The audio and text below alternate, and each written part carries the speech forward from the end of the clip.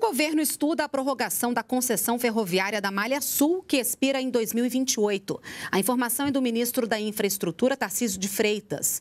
O ministro falou dos benefícios que os novos investimentos podem trazer para o escoamento da produção do sul do país.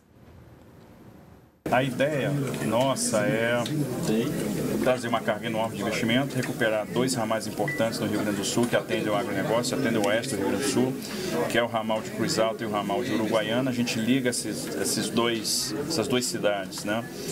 É, até o Porto do Rio Grande, então a gente cria uma linha direta ali, uma conexão direta ao Porto do Rio Grande para exportação do agro é, ali gaúcho. A gente faz a repotencialização de toda a linha que atende o Rio Grande do Sul, passando por Santa Catarina, Paraná, indo até o terminal de Sumaré em São Paulo. Então a gente liga todo o tronco sul ao resto do Brasil.